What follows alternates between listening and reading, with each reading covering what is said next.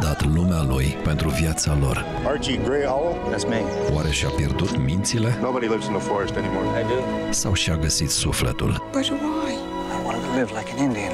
Povestea adevărată a unui om care a schimbat o epocă. We can change the world.